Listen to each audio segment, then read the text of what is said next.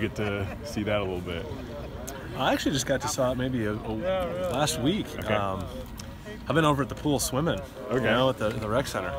At Dixon? Yeah, Dixon at, at lunch. But no, I got to go through, and I actually worked out this morning in there. Man, it's beautiful. Okay. It's an awesome facility, and um, you know, I think our, our players and our staff.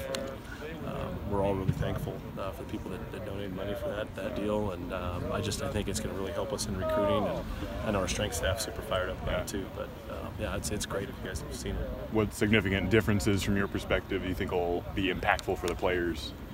Uh, I think they just they've made it look just sharper and updated, you know. So I think it has uh, you know a little curb appeal um, as, as you go through there.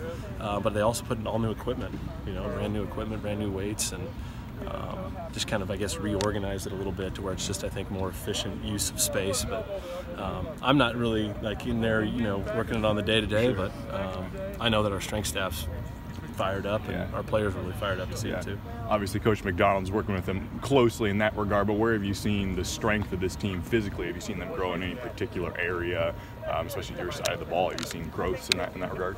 Yeah, I, I think um, we're as fast as we've been, particularly on the perimeter. You know, um, than, than, than we've been, and I, I think that's some an area that we've kind of talked about in the offseason. Is we want to try to get more explosive in the offense and not have to, you know, earn a ton of first downs. Is be able to have guys create some some explosive plays, and, and so I, I've seen that through the first four practices. Just guys being able to stretch the field vertically in the pass game, and then take short passes and turn them into big plays. And um, I think Coach Hynson, you know, has done a really good job recruiting those guys, and um, yeah, I'm excited. We're not real tall, but we're uh, we've got some good speed, so happy about that. What have you seen in terms of development from your QBs, especially Ben Gulbranson, Nick Moore, both had really good days today? Yeah, um, I think you know Nick's been around. Nick's been around it now. I mean, this would be his, his third year with us, so he understands the system. I just think he's really comfortable out there, he's, he's playing fast. He's seeing things, and then um, in the competition period and third down, you know, drill we had today, he I think he converted four or five, so that was really good to see. And then Ben, I think Ben's swimming a little bit. We're throwing a lot at him as far as install goes, um, and really he's really is still a senior in high school. So uh, for him to come out and and uh, make some throws and do some things, I think each practice he's gotten better. He's still got a long way to go, um, but uh, no, I'm, I'm excited about him. Excited about his future here. How much of the playbook would you expect, guys? And I'm sure the playbook can still change from here until you know September and so forth. But how much of that playbook do you expect guys like Ben to already have a grasp at this point?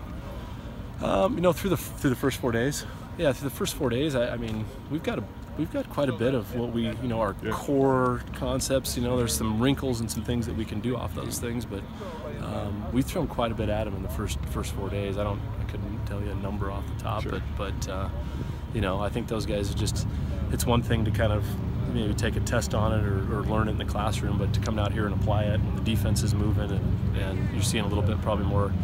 Um, exotic looks than you saw your senior year in high school. Yeah. So uh, I, I think he's doing a nice job picking it up, and I just think every rep that he can take and every day is just he's growing so much. Yeah.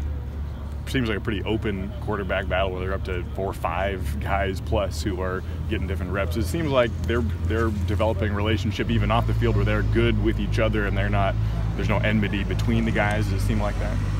No, we got a good room, you know, and, and uh, we got two new guys that came in and, at, uh, you know, over winter there, and, and uh, I think the, the veteran guys were like, hey, I was in that situation at one point, and, and some of the veterans, Jake, you know, helped me helped me out a little bit. So I think those, those guys have taken taken to it, and, and when they're not in, it's been good to see them kind of, you know, uh, mentoring them a little bit through through the process, because they all went through it.